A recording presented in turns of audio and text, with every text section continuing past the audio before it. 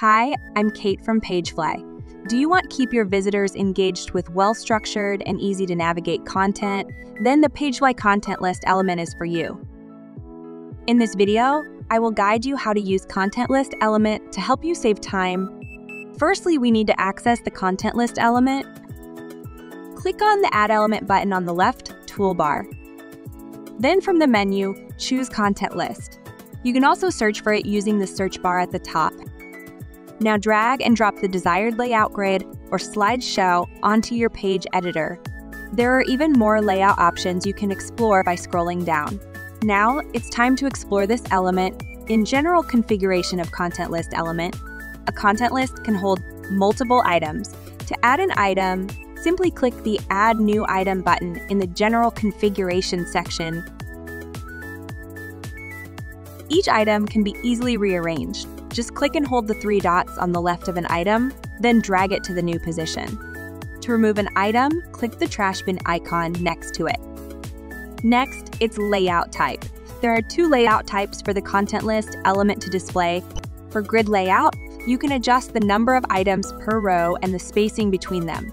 You can even make all items the same height. The slideshow layout offers more customization. Set the number of items displayed per slide and how many slides scroll at once. There are also options for item spacing, navigation styles, and pagination.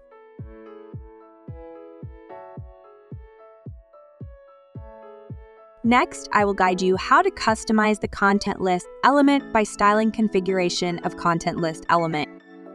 You can control how each item looks in the styling tab.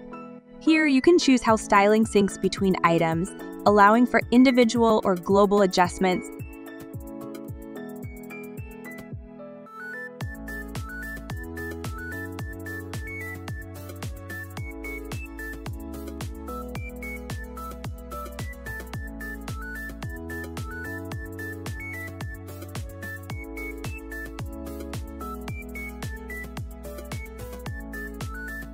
To edit each item in the content list element, you need access to content list item configuration. Each item in your content list allows you to control how its style syncs with other items.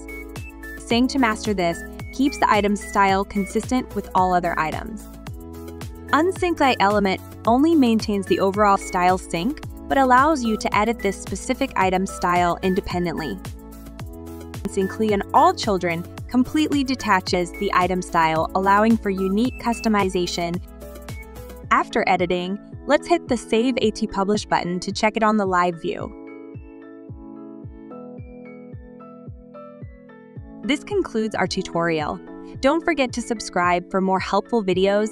Our friendly and knowledgeable team is available 24 7 via live chat to assist you with any issues. Thank you for watching.